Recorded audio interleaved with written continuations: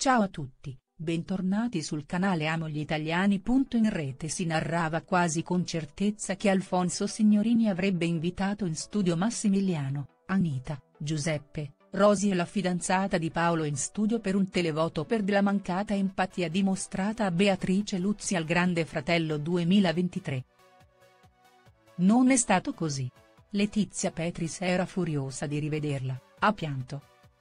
Proprio lei, che tra il gruppetto di hater di Beatrice Luzzi e Vittorio Menozzi e il resto dei fuori dal coro di Cinecittà, come anche Stefano Miele e Sergio Dottavi, sembrava essere la più carina con Beatrice Luzzi si è rivelata la meno felice del suo ritorno al Grande Fratello 2023. Letizia Petris ieri. Il pubblico l'ha visto. Grande Fratello, tutti contro Letizia, cosa ha fatto a Beatrice. Già mentre Beatrice Luzzi era fuori, la 24enne aveva parlato di un possibile ritorno, che a suo avviso non sarebbe stato corretto. Dipende da come sta lei? Ok, però, se lei è forte magari rientra. Ma non sarebbe giusto, capite? Mettete da parte il cuore. Ti andrebbe bene? Una settimana fuori è molto. Ha avuto a che fare col fuori.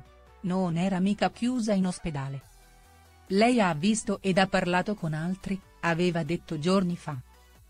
Infatti ieri è sembrata tra i più contrariati del rientro della coinquilina, che aveva provato ad essere carina. Ieri Alfonso Signorini ha spiegato perché il rientro dell'attrice fosse possibile e non contro il regolamento. Si potrebbe dire che il Grande Fratello 2023 non tiene isolati come prima. Adesso dura sei mesi e in tutto questo tempo può succedere tutto. Un lutto va oltre la logica del gioco ed in passato abbiamo permesso di tornare. Milena Miconi ha perso un amico, è uscita e tornata. Antonino Spinalbese è stato in ospedale, è rientrato dopo 14 giorni. Ho sentito Beatrice, dopo valutazioni, ha scelto di tornare, ha detto in diretta. Siamo in due ora, aveva detto Beatrice Luzzi a Letizia Petris ieri sera abbracciandola. Voleva essere un gesto carino. Un gesto simile con Anita, che si è tradita commuovendosi. Non la sopporto, ha toccato il mio punto debole, invece è stata la reazione, all'orecchio di Paolo.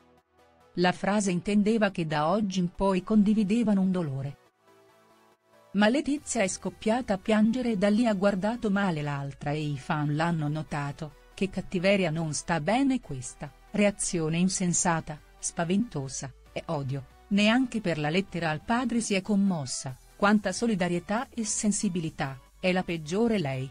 Si legge su Twitter. Metti mi piace e commenta la tua opinione in modo che possiamo discutere. Non dimenticare di iscriverti al canale e fare clic sull'icona della campana per ricevere aggiornamenti da me.